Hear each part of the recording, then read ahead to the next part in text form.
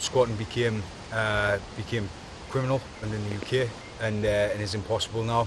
Uh, and it killed a lot of um, it killed a lot of smaller groups, non-profit groups, uh, killed a lot of good um, social initiatives, and now you've got a lot of people with uh, with no place to go, and a lot of property that's sitting vacant, and none of it makes any sense. And it's a real shame, you know, and it would be really really tragic if uh, if Poland followed the same route in other places in Germany, clamped down on on some of the the tremendous social initiatives that, that happen in places like Rozbrat.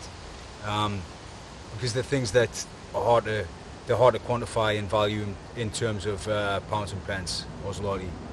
You, know, you can't put a price on them because um, the value is the value is outside of that. Um, and so if you're thinking in terms of money, it's a hard thing. It's a hard thing to comprehend. You know, you're working on different value scales. There's a benefit to society for having things that are things that are, are free and things that don't generate profit in terms of money.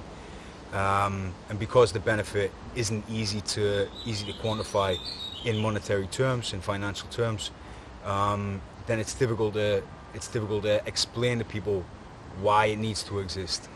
Unfortunately, like what happened in the UK, you only find out the value that you've lost once it's disappeared. Um, the, there's things that aren't immediately obvious to, to the community at large. Um, the positive effects that places like Rozbrat have, and once they disappear, it'll be really sad for people to find out. It gives us no pleasure to see it. Rozbrat's just a, it's a really special place. You know, it's, uh, it's got a special place in my heart. And every year I come back and it's a, a little bit different. And every year I come back and it's a, really the same. And sometimes I walk in here and I feel like it was just like yesterday, like I never left.